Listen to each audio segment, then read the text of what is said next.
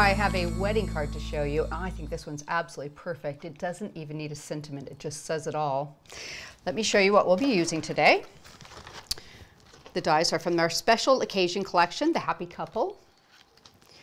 From the same collection, we'll be using the Arbour Gate. I'm going to make a border from the Australian Border Cordon Tag.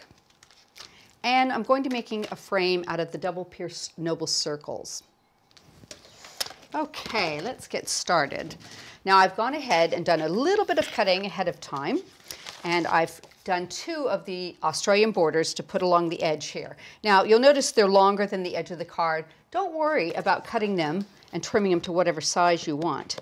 It's nice to have a border that is longer than you need and you can cut it down to whatever size. So I'm just going to use my scissors to trim this. Gone ahead and put it on with a little Cosmic Shimmer glue. And when I get it trimmed, I'll give you a quick measurement.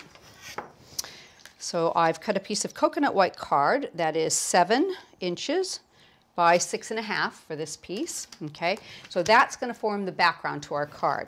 I've already cut some of the noble circles into a frame. Now I do like to do the double layered frames. And one of the things that I think is a nice um, uh, tip is if you want to mat them and layer them, use a smaller one for the inside of the bottom one than you do on the top one. That way, if you're off a little bit putting it over the top, you're not going to see it, but it's still got enough room that it can be um, seated on the edge there. So I've added some mounting foam to the back. So let me just pop these pieces off.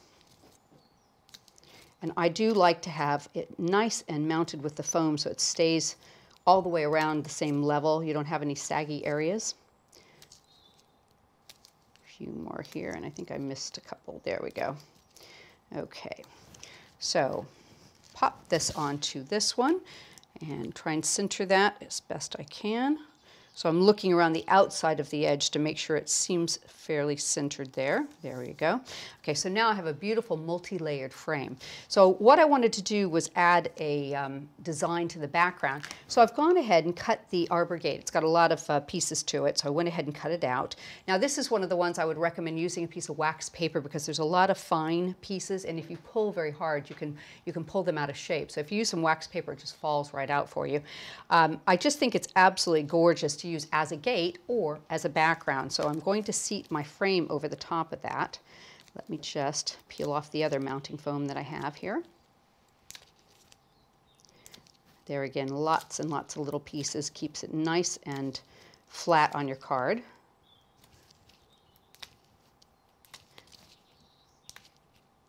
And a few more. There we go. Okay, I'm just going to center that so it shows through my frame and I'll nip away the little bit of edge that uh, shows from the back of it. Pick it up and you can just see there's a tiny bit there that shows, so we'll nip that. You won't even notice it. There we go. We can seat that right in the center of our um, borders here. Get it nice and centered. That looks pretty good, and there should be enough mounting foam left there to hold that into place. Now I'm going to go ahead and pop that onto my background, which I've gone ahead and pierced with a piercing ruler uh, on my white card, my coconut white card. I've used a uh, vintage silver mat and a black mat to kind of tie in the colors I'll be using in my card. Pop that right into the center there. So now the background's all sorted. What I want to show you is some of the fun things you can do with the happy couple here. So I've gone ahead and I've cut one already in white and one in black. And what I want to do is I want to line this part of the uh, her dress so it's white also. So one of the ways that you can do this is to take your die and emboss it. But rather than embossing it with a traditional embossing um, sandwich, which really makes it deep and sometimes can cut into the card, it, I find it's easier to use kind of a, a, a made up little sandwich to do this and just get enough that you can see that pattern. So I'm going to tape it into place, pop it onto my uh, platform. And I've got several pieces of just white copy paper folded in half. There are five of them folded in half, and I think that's about right. So it's thinner than a mat would be, so you won't have quite as deep of an emboss, but it'll be enough to see your bride and groom there through it.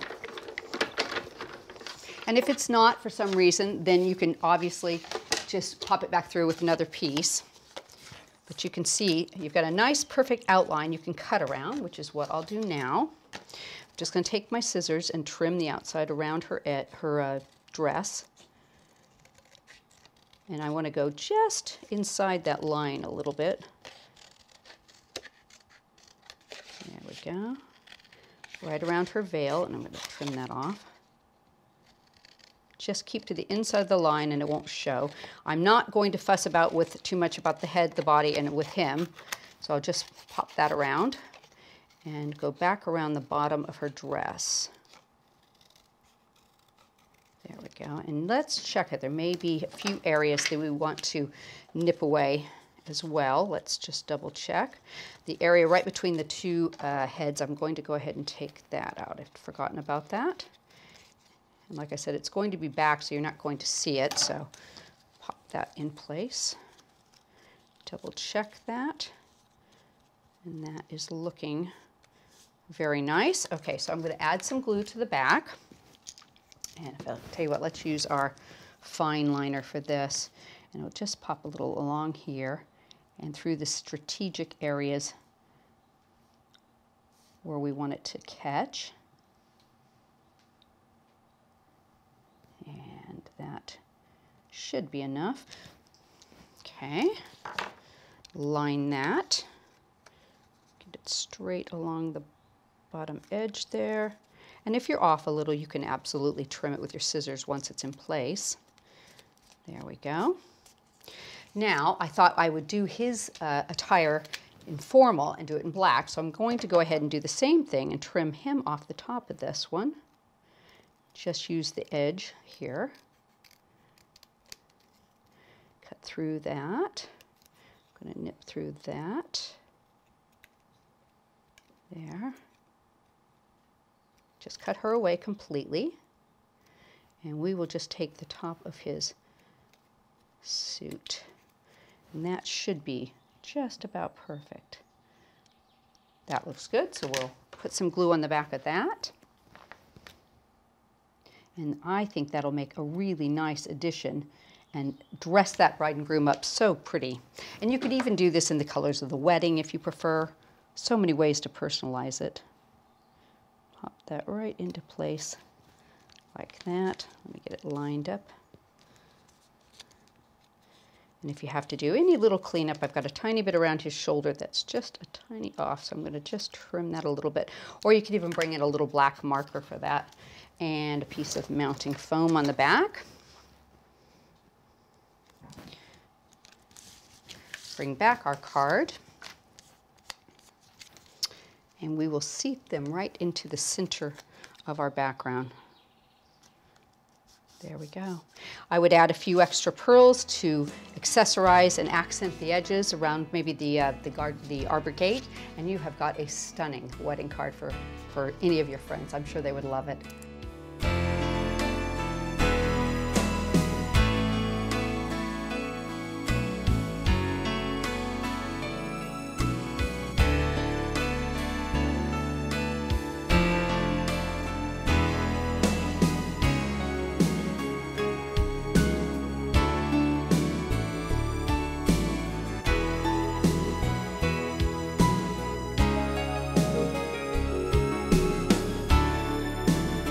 I hope you've enjoyed today's video and join us again on our YouTube channel.